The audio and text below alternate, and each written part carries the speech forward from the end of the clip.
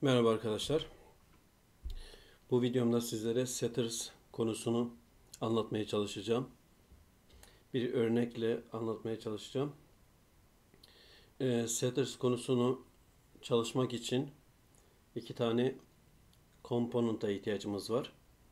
Birini parent, birini child component yapacağız. Yani kısacası bir component'u diğer component'un içinde kullanacağız. Ee, ve setters konusunu bu şekilde çalışmış olacağız. Öncelikle iki tane komponenta ihtiyacımız var. Ben şu şekilde iki tane oluşturuyorum. Birincisine child com diyorum. Onu oluşturuyorum. İkincisine ise onu da hemen oluşturuyorum. İkincisine parent com diyorum. Ve iki tane component oluşturuyorum arkadaşlar. Sonra child component'ta HTML'in içine bir şeyler yazalım. Şu şekilde yazsak bir division yapsak. This is a text from child component yazalım. Ki oradan aldığını aldığımızı görelim. Bunu burada save yapıyorum. Daha sonra parent component'a giderek daha önce çalışmıştık. Burada child component'u göstereceğiz. Namespace'lere dikkat edelim. C ile başlıyorduk. Sonra child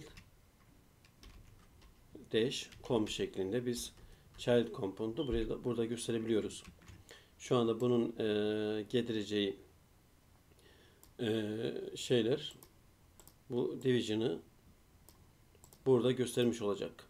Biz parent component'u deploy yapsak da child'ı görebileceğiz. Çünkü child'ı biz parent'ın içine koyduk. İsterseniz targetlarımızı koyduktan sonra deploy yapıp görelim.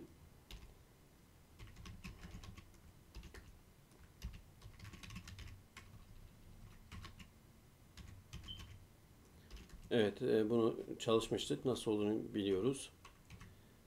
Şu şekilde lightning double underscore page şeklinde ekliyorduk. Daha sonra save yapıyoruz. Bu şekilde yaptıktan sonra arkadaşlar bunu kapatabiliriz. Şurada bir hatamız var. Bunu düzeltelim. Targets yazalım. Bunu aşağıya da kopyalayalım. Evet şu şekilde hatamız yok. Bunu kapatıyorum. Burada işim kalmadı. Şimdi e, parent önce child e, komponentunu deploy yapalım. Daha sonra parent komponentini deploy yaptıktan sonra ork'a gidelim ve biz oluşturduğumuz bu parent komponentu application sayfamıza koyalım arkadaşlar. Parent.com burada görüyorsunuz. Onu buraya koyuyorum. Save yapıp ana sayfaya geldiğim zaman is text from child component yazısını görüyoruz. Şimdi e, buraya kadar çalıştığımız konular, önceden hazırladığımız videolarda bunlara değinmiştik. E, şimdi ne yapacağız? Şimdi yapmamız gereken şey şu. Setters ile ben bazı şeyleri değiştirmek istiyorum. Neyi değiştireceğim? Öncelikle bu child komponentuna bir attribute ekliyorum. Title şeklinde. Bunun title'ını şu şekilde belirtiyorum arkadaşlar. Böyle çok enteresan şeyler yazacağım. Bazı şöyle diyeyim. This is a title. Şu şekilde yazdım. Görüyorsunuz. Hatta C'yi de büyük yazalım. Yani ne büyük ne küçük. Karıştırdım iyice. Siz bunu şeyde görebiliyorsunuz arkadaşlar. Title'ı biz burada görebiliyoruz. İsterseniz refresh yapalım. Title'ı görmeye çalışalım.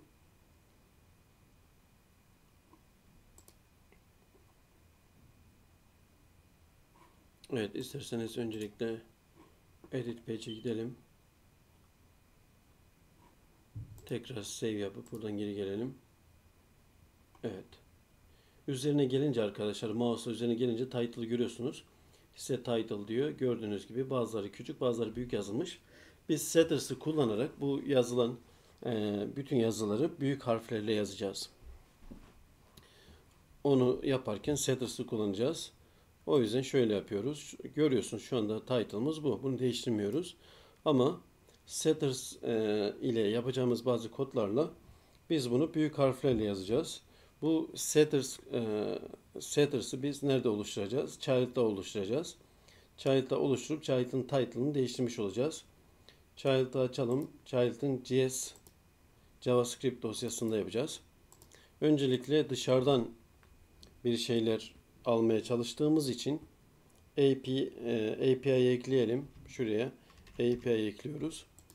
Daha sonra herhangi bir e, variable, değişken oluşturuyorum. My title şeklinde bir değişken oluşturuyorum. Boş bırakıyorum. Daha sonra API API'yi koyuyorum. Get title'dan önce get kullanıp title alacağım. Get metoduyla title alacağım ve title'ı set metoduyla değiştireceğim. Önce get'i kullanıyorum.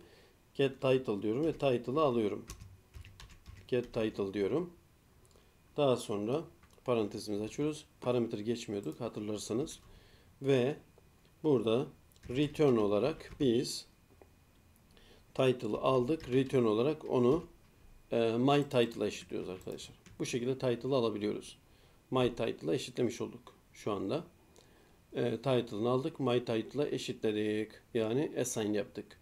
Şimdi set metoduyla biz bu e, title'ı title'ı değiştireceğiz. Peki e, set'in içinde parametre var mı? Var. Value diye bir parametremiz var. Bu value get metodundaki değeri alıyor. Get metodunun içinden alınan değeri buraya koyabiliyorsunuz. Buraya geçebiliyorsunuz. E, yani şuradaki değer ile şu value değeri aynı. Şimdi bu burada biz e, my title'ı tekrar değiştiriyoruz set ile this nokta my title diyoruz. Bunu artık tekrar esen yapacağız. Yani değiştiriyoruz. Eşittir diyoruz. Yukarıdaki şu value value'yu alalım. Yani var olan şu anda hani benim o küçük büyük değişik bir şekilde yazdığım title'ı aldık. O şu anda value burada. Nokta diyoruz. To uppercase deyip bunu uppercase'e çeviriyoruz arkadaşlar. Şu şekilde. Uppercase'e çevirdik.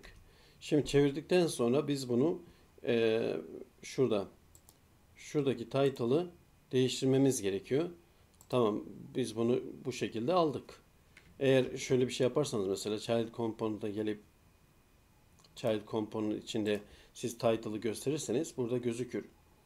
Ee, ama biz onu yapmak istemiyoruz. Biz direkt e, title değiştirmek istiyoruz. Onu nasıl yapacağız? Onu da şöyle yapıyoruz. This nokta set attribute diyoruz. Öyle bir metodumuz var. Set attribute metodu var. Onunla biz title'ı değiştirebiliyoruz. Şöyle yazıyoruz. Title. Title bizim attribute'ümüz. Onu ne ile değiştiriyoruz? This nokta my title'la değiştiriyoruz arkadaşlar. Şu şekilde. Şu şekilde e, değiştirebiliyoruz. Ne yaptık? Onu kısaca anlatmaya çalışayım. Öncelikle my title diye boş bir değişken oluşturdum. Bunun içinde hiçbir şey yok görüyorsunuz. Daha sonra get metodunu kullanarak yani getter'ları kullanarak ee, ne yaptık? Title'ı aldık.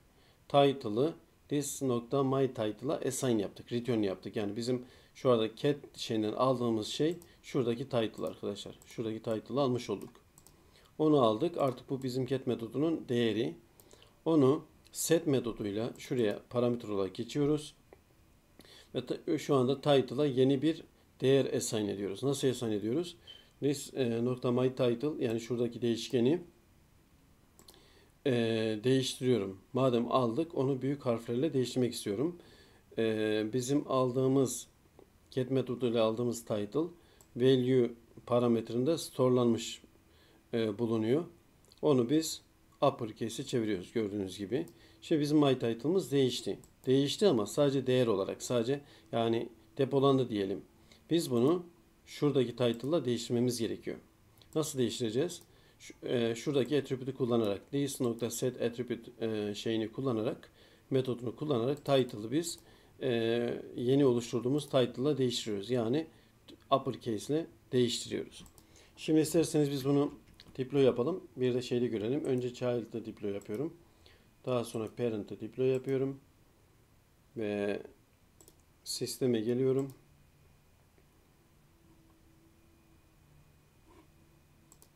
Edit yapalım. Daha sonra save yapalım. Daha hızlı oluyor. Birkaç kere refresh yapmaktansa save yapıyorum. Geri gidiyorum.